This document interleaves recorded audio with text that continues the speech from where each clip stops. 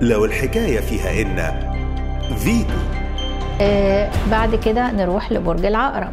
العقرب النهاردة ما زال القمر في مواجهة برج العقرب وممكن يخلي اليوم مشحون بالنسبة لهم بالأعمال ومطلوب من مواليد العقرب إن هم يظهروا تماسك أكتر رغم كل الضغوط اللي عليهم.